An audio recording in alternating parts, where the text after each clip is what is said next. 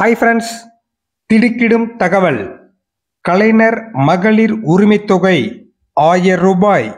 தொடர்ந்து மேல்முறையீடு செய்யலாம். ஒவ்வொரு மாதமும் ஆய்வு மேற்கொள்ளப்படும் என அதிர்ச்சி தகவல். அரசாணை வெளியீடு.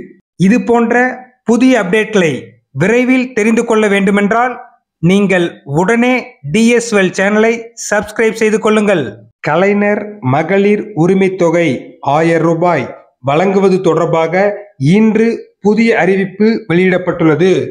ஒவ்வொரு மாதமும் கள ஆய்வு மேற்கொள்ளப்படும் என தமிழக அரசு அறிவித்துள்ளது.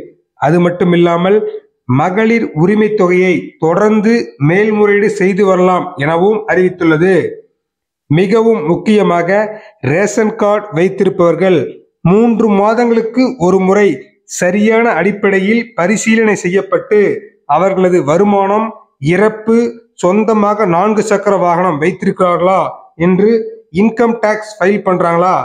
பேன் கார்டு மூலம் பரிசீலனை செய்து பின்பு அறிவிக்கப்படும். அதாவது தற்போது இந்த மகளிர் உரிமைத் தொகை ஆயிரம் ரூபாய் பயன்பெற்று வருகிறார்கள். தொடர்ந்து கண்காணிக்கப்படும். அவர்களின் பணம் வசதி உயர்ந்திருக்கிறதா?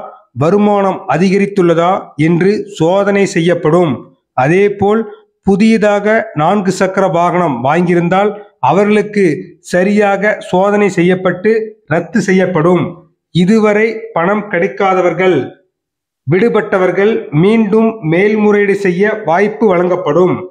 கலைஞர் மகளிர் உரிமைத் தொகை ஆயிரம் ரூபாய் வருடத்திற்கு பனிரெண்டாயிரம் ரூபாய் சரியான முறையில் சென்றிட வேண்டும். பெண்களின் உழைப்புக்கு அங்கீகாரம் அளிக்கும் வகையில் அவர்களின் வாழ்க்கை தரத்தை உயர்த்தி சுய மரியாதையோடு வாழ்வதற்கு வழிவகுக்கும் இந்த திட்டம் கொண்டு வரப்பட்டது என தமிழக முதல்வர் மு. க. ஸ்டாலின் அவர்கள் தெரிவித்துள்ளார்.